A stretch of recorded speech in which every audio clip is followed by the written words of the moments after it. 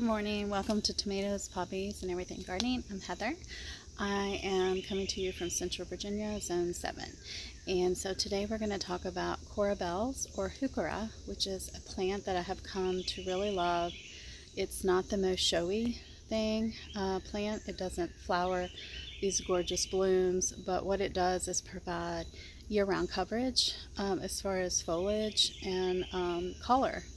So I have come to really uh, respect. I don't know if you can respect a plant, but um, I really do enjoy having heuchera. And um, I have many, many different varieties. And I have grown some from seed, and I have also divided, and I have also purchased quite a few, especially when I can get them on clearance.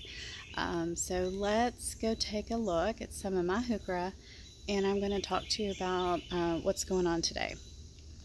And today is going to be kind of a maintenance day for some of my heuchera here on the walkway. Heuchera is a perennial, and if you live in above, let's say six and above, I believe, it is an evergreen, so it's beautiful year-round, beautiful color, and that is exactly why I put it on this walkway, so I could just kind of camouflage this wall here next to the walkway where nothing else would grow. So you saw by that clip that the flowers that come off of the heuchera it's kind of like a straight up upright stem and it isn't a true like beautiful blooming flower. It's more of like um, just a cluster of little tiny blossoms and the bees do love it and that's kind of the problem. So my family has requested I cut all those off because they don't like walking past this area and the bees you know get upset with them. So that clip I took a few days ago when I was prepared to do the project of cleaning up this walkway and then I got distracted. So I'm going to show you what the mess looks like today after we got a horrible storm last night. And, um, well, let's just... So you can see that the heuchera is really low now into the walkway. And I really do have to clean this up. It's uh, hard to bring a trash can this way or even walk this way, especially if it's sunny and the bees are everywhere. Um, and I think what we're going to do is I'll leave this one and then some of the same variety of that one are tucked down in here. I'm thinking about maybe relocating them, but I'm not exactly sure. I may leave them after I clean up some of these leaves. Um, and that was something I should have thought about when I planted these, is that this variety, and I don't remember the names of any of my heuchera, it gets quite a bit taller than uh, the shorter one. And I had planted them every other. So let's go see my heuchera babies. Um, I didn't trim those last year, so all of the flowers just fell. And I have so many babies that I have been collecting. Um, here's a couple other heucheras. I love this variety, and I don't know the name, but it's a beautiful fire cranberry reddish color. And then there's some more heuchera back in there. You can see that they really like to be placed in the shade or low light. So these are all the babies that I have been collecting and putting into these long pots. Um, I think really, really soon we're going to divide these into their own individual pot. These I just picked the other day. And then I do have some heuchera babies um, in this pot that I've started from seed. Here's one. I think this one's called Ruby Falls. Yeah. And then I have heuchera that I divided. And you can see that it took to the division. And it has new growth coming off put two in this pot.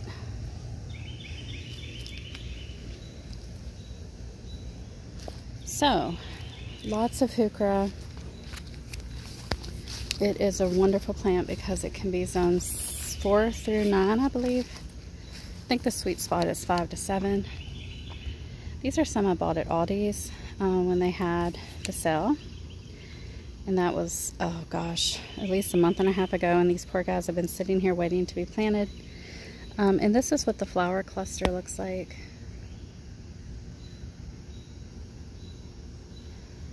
So there's many seeds in here.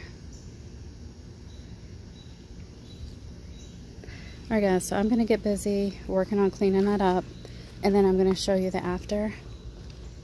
Here's another heuchera.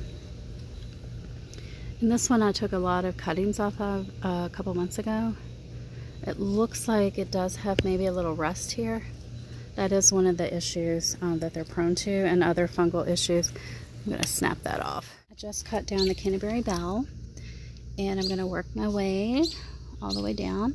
But I wanted to show you guys what the babies look like, the seedlings. So remember last summer I did not cut um, the flower stems, the stalks. And so there were so many babies that have seeded. Here is one. And there's a bunch right here. There's some back there. They even have seeded in the walkway. I picked so many out of the walkway. So um, I'm going to save all of these because I don't know if you've looked at the garden center, but heuchera or coral bells are very, very expensive. Um, I see them from 15 to 18 plus dollars at my local greenhouse. And so I have so many babies that really not sure what I'm going to do with them, but I'm definitely not going to let them go to waste. If I have to give them away, I will, or I'll just have a beautiful backyard full of heuchera. Okay guys, I'm going to collect these and I wanted to show you how shallow rooted. It's almond root, heuchera, or coral bell. And even when they get to be grown up plants, um, the roots aren't like super duper duper deep. Um, and they can actually do well in very dry locations.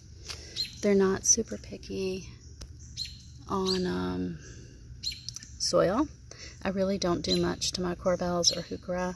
I don't water them, um, don't really fertilize them. Now the ones in containers um, are a little treated a little differently, but the ones in the ground, they are left to their own device. And they do well. They do great. So you can see I am filling up this container very quickly and I have not moved from this spot. So I will probably have quite a few that I find today. So just pop them in there, barely cover the root because they're so shallow rooted, and then they will take off. Example why I think I might relocate some of my heuchera. Um, see this variety, and I do not know the name, but it's a very pretty kind of variegated variety. Um, he was just not getting enough light. Even though these guys do enjoy shade, um, he had just no airflow, no light at all. And I think I will just put him in a pot somewhere and he will be happy. And then I can let these guys, this variety, which is a taller variety, kind of take over and spread as much as it wants. Because you will see here, these guys have already reproduced uh, by root really well. Look at how I've got at least several plants in here if I wanted to divide. I could. I'm not going to. I'm just going to remove the shorter variety and let these guys just kind of keep multiplying. And then eventually this will be nothing but this one tall variety of heuchera. And when we get ready to move, I can always divide if it's the right time of year. And honestly, I know it's best spring and fall, but sometimes I do weird experiments in the heat of the summer. So if I needed to divide these guys, I don't think I would let the weather stop me.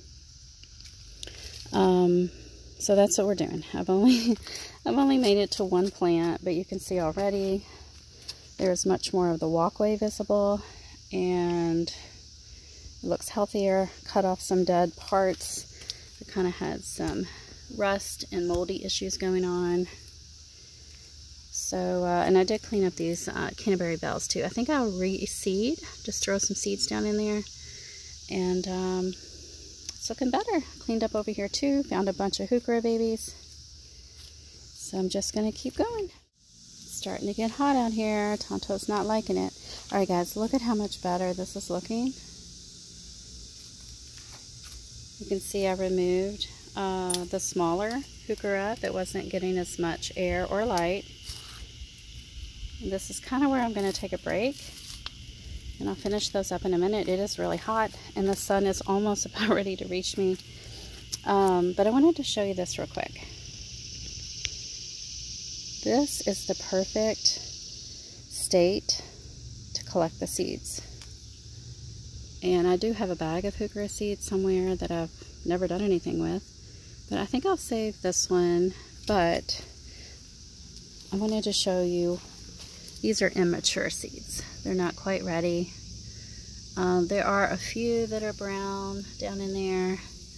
So I think I'm just going to throw these in the woods. And if any develop or grow, great. Uh, I would say most likely these are way too immature. But there's a few.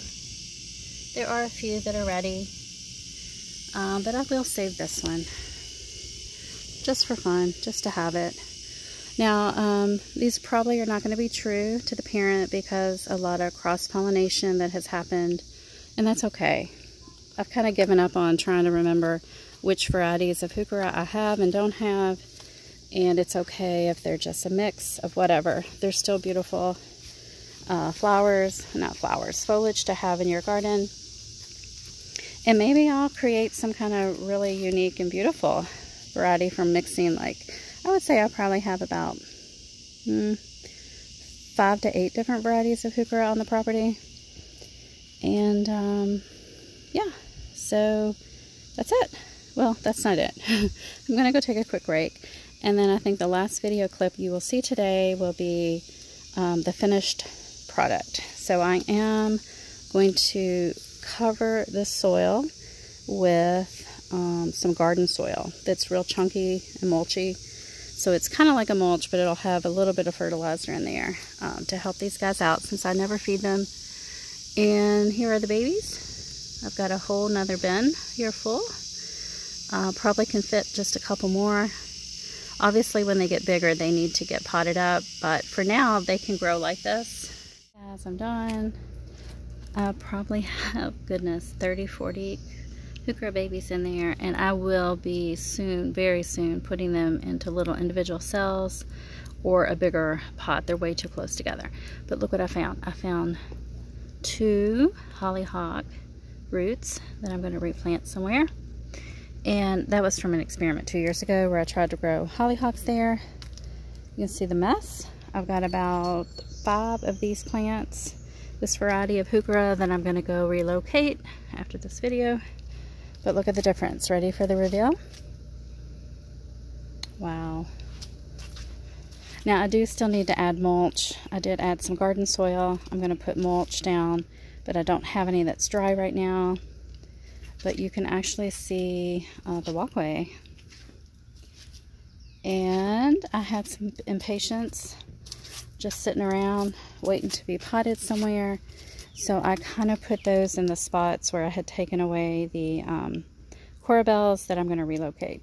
And they'll do fine with shade. So I think it looks much better. I think my family is going to be so happy because now they can actually use this walkway without the bees, you know, trying to sting them. And also the trash can can actually fit now without tearing up my plants. So I'm really happy I took the time to do this today. And I found a whole bunch of babies that will grow up to be nice, big, beautiful plants. And, oh, one more thing I want to tell you guys. So there is a weed that looks very similar to a heuchera seedling. So that's heuchera. And that weed over there, can't remember the name. It might be mulberry, but I could be very wrong about that. Um, it tries to blend in with those guys. So sometimes it's hard to tell what you're pulling. Um, you can see the leaves are different. Alright guys that's it. I hope you're having a great gardening day and I will talk to you soon. Bye